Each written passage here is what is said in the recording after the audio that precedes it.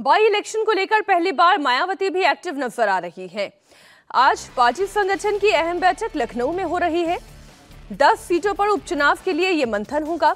Booth से लेकर मंडल level तक सीनियर से लेकर छोटे वर्कर्स को बैठक में इनवाइट किया गया है।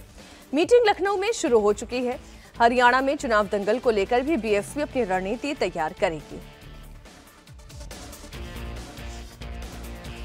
मायावती, उपचुनाव को लेकर अब एक्टिव दिखाई दे रही हैं। आज जो मीटिंग बुलाई गई है, जिसकी शुरुआत हो चुकी है मंडल बूथ लेवल के सभी सीनियर नेताओं को और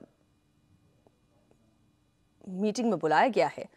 यूपी से लेकर हरियाणा तक में पार्टी की रणनीति क्या रहने वाली है इससे लेकर आज चर्चा इस मीटिंग में चल रही है।